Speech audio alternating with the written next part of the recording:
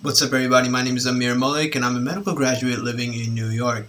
If you're new to my channel, then previously I used to have a very comprehensive playlist on my channel where I would go through all of first aid for step 1 and all of first aid for CK while simultaneously revising topics from various Q banks to help master topics, whether it was the progression of an MI or the differences between Cushing disorder and Cushing disease or whatever else various types of tumors in neurology. My goal was always to help you memorize topics while also simultaneously understanding topics without any hesitation. I came up with many things uh, from my annotated First Aid to the cheat sheet for test day, as well as various mnemonics to help you perfectly incorporate topics into your mind such that you wouldn't really have to revise it again. You know, you study it once and you're done. So now I've been running a course. It started in January and it's been extremely successful. So I wanted to make this video so that when people come ask what the course is about, I can forward this to them. And of course, the rest of you can also share it with others that, that might be uh, looking for such help. My course is a three-month course where I basically send you uh, resources to utilize during the uh, three-month period and every week I meet with students, right? So we have a Discord server. Discord is an app that's very similar to um, Skype and Zoom. It actually looks like this. Let me actually load it up on the screen also. So this is actually my Discord server right here, right? So you can see uh, my Discord server is called USMLE Live. There's a link for joining the server in the description below. And when you join, you're going to land on this introduction page right here on the left, you can see there's a VIP CK room and a VIP Step 1 room, which are actually rooms where I meet with students that are signed up for those courses, and we discuss things on a regular basis. Right now, the server has about 524 people total that are offline, 15 that are online, and there's a bunch of little study rooms here which have been being used pretty extensively by people who come, talk about things, discuss topics, you know, they all communicate with each other about whatever it is they want to talk about, and then we go ahead and just uh, develop the, the course more and more as we go on. So these these various rooms are rooms that I can join into and then utilize an audio setup or a video setup and have an entire discussion with everyone about whatever it is that we're discussing for that week. Um, so the resources you get, they're going to involve various annotated notes from me, annotated explanations for NBMEs, um, some videos from me where I break down topics, and a lot of the videos from my original playlist as well, where I'm just talking through everything as perfectly as possible so that it sticks to you. One of the funniest things that I personally found borderline weird that people have come back and told me was that on test day they kind of hear my voice. Now, of course, to me that was hilarious and really weird, but at the same time it made sense, right? Because when I'm on here talking, I make sure that as I teach you something, I don't really make any hiccups in what I say, right? Nothing where I may have pronounced something incorrectly or said an inaccurate statement to the best of my abilities because I wouldn't want that inaccurate statement to be stuck with you. That being said, I have my little setup here with the main laptop, the big monitor, and the little monitor on the bottom to really be able to allocate all the resources perfectly and then speak to you guys in perfect tune and get it all out there. The course in the first month will be a breakdown from everything. So when you join, you have multiple options, first of all. Let's start there. You can start with just joining the Step 1 course, just joining the Step 2 course if you're done with Step 1 already or planning to take Step 2 first. Or you could join the combo course where you would get all uh, the videos and all the accesses to every material at the same time. The benefits of the combo course are pretty vast because now with Step 2 CS gone, Step 1 is starting to change shape, and Step 2 is also starting to change shape. Step 1 is focusing more on the principles. So if we look at the contents of Step 1, you have all your principal topics such as the, uh, let's see where it is, right here. So you have your biochemistry, immunology, micro, path, pharm, and then public health sciences, which includes the notorious ethics that really messes up a lot of uh, students coming from the East, right? And these are topics that some of which will be in step two, but majority won't really be in step two. I mean, step two barely has any direct micro questions where they'll want to ask you the characteristics of certain bugs, whether something is uh, catalase positive or urease positive, stuff like that. It's not a thing. Uh, step two, CK barely asks any immunology questions where they go into the technicalities of things, whether it's a certain interleukin or a certain TNF alpha inhibitor, etc. They'll have more uh, clinically relevant questions about immunology, whether somebody has a certain deficiency, immunodeficiency, or treating cancer. You know, those are topics you'll see, but not the nitty gritty things. So step one focuses a lot more on those nitty gritty things.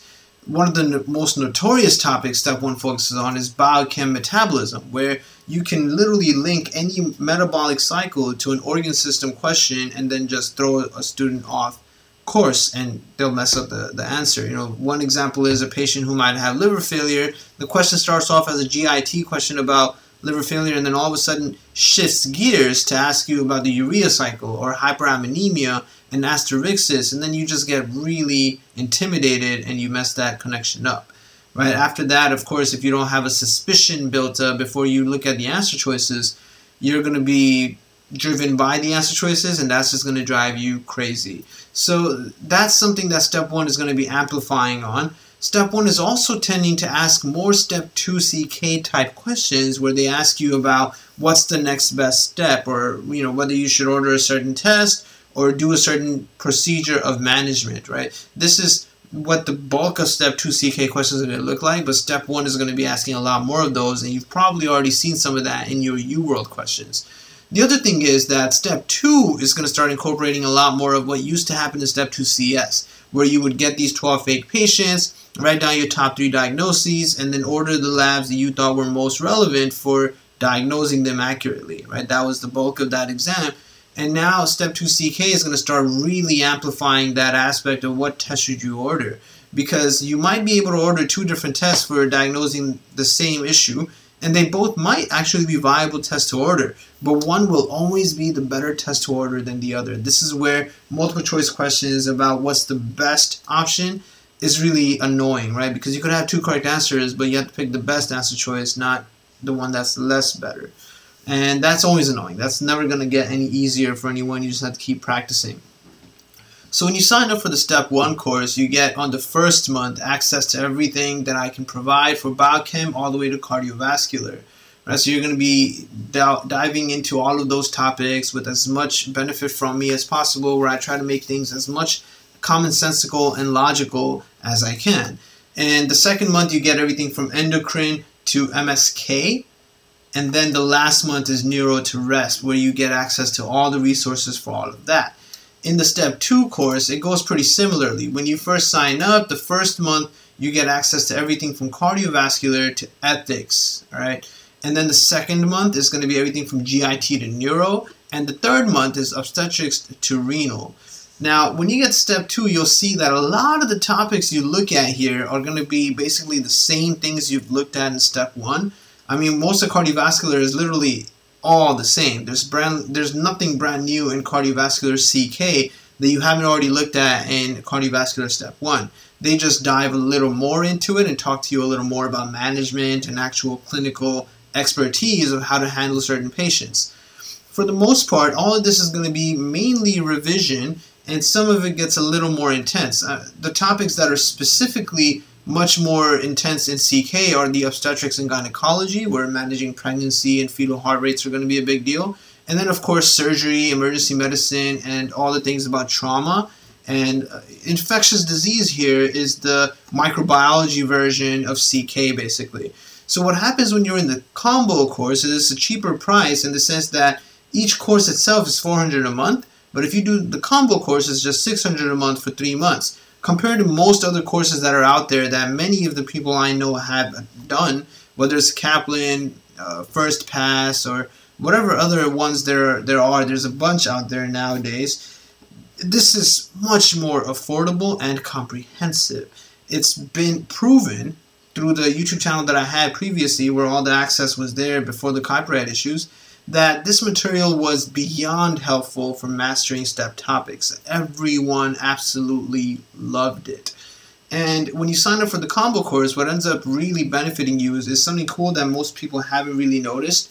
When you do step one questions, you read, oh, you know, patient came in with XYZ symptoms. We ordered test A. We sent them for uh, procedure B, and then they'll be like, what do you think is happening? Well, They'll ask you some kind of technicality question.